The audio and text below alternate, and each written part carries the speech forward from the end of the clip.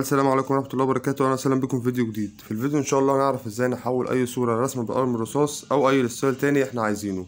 والكلام ده عن طريق موقع Canva بطريقة سهلة جدا وبسيطة. يلا بينا نروح الشرح أول حاجة نبدأ نفتح Canva وبعد كده نبدأ نختار حجم الصورة اللي إحنا عايزينها. إحنا هنا مثلا نختار حجم الصورة المصغرة علشان نعمل الصورة المصغرة بتاعة الفيديو بالمرة.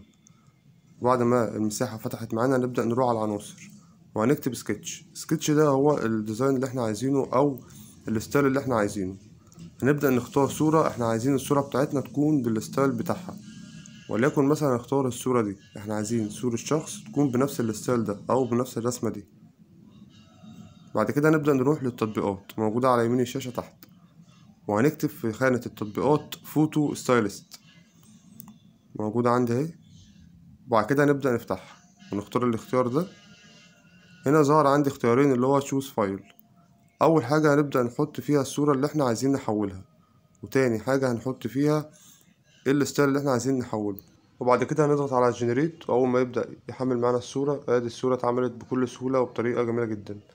هنبدأ نشوف الصورة قبل وأدي الصورة بعد. ونكون وصلنا الفيديو اتمنى يكون الفيديو عجبك متنساش تشترك في القناة لو عجبك الفيديو. سلام عليكم.